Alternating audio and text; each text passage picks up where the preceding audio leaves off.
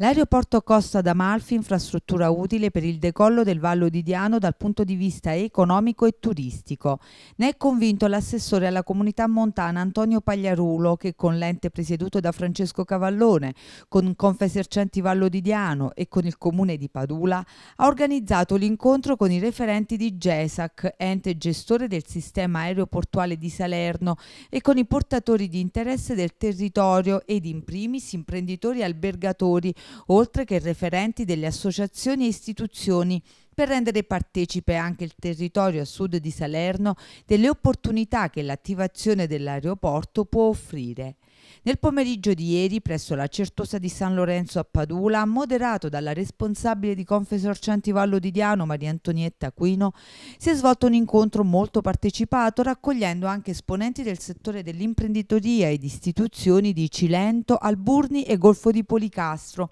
per prepararsi al meglio all'attivazione dell'aeroporto sito a Ponte Cagnano, partendo dall'input lanciato dall'assessore Pagliarulo, che ritiene lo scalo aeroportuale una grande occasione per il Vallo di Diano e non solo. Oggi è un momento che io reputo importante eh, proprio perché un aeroporto all'interno di un territorio o, nelle immediate vicinanze di un territorio è sicuramente un'infrastruttura che porta innovazione, porta ricchezza, valorizza quel territorio e lo rende facilmente più fruibile. Quindi è qualcosa sicuramente che porterà lontano questo territorio, così come, eh, come recita il nostro slogan, rallenta ti portiamo lontano, che è quello il, il Visit Valoridiano su cui noi stiamo investendo come territorio e come aree interne. È qualcosa ovviamente oggi eh, straordinario, c'è una presenza forte tra pubblico e privato, un, un, momento in cui gli imprenditori locali si sono fortemente motivati eh, anch'essi per quanto riguarda l'apertura imminente del, dell'aeroporto Salerno-Costa d'Amalfi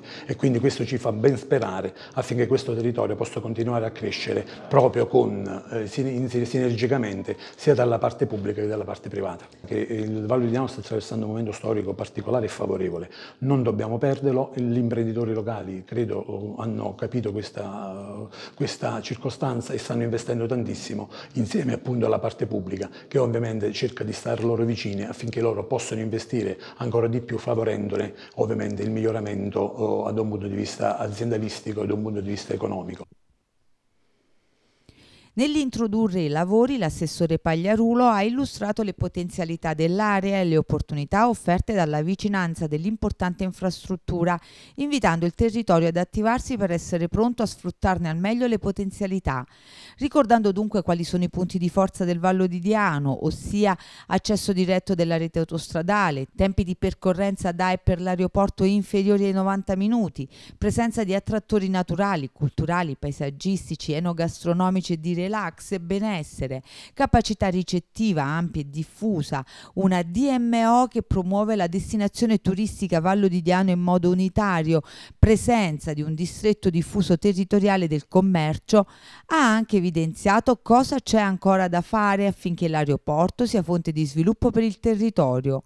Per Pagliarulo è necessario organizzare la rete dei collegamenti su gomma da e per l'aeroporto, organizzare l'offerta territoriale turistica inserendo inserendo anche il turismo congressuale e scolastico, organizzare pacchetti calibrati per rendere fruibile tutto il territorio ai turisti, organizzare un'offerta destagionalizzata, organizzare una modalità di collegamento di tutti gli attrattori turistici valdianesi, fare in modo che il Vallo di Diano possa essere inserito nei circuiti promozionali di EasyJet e Volotea.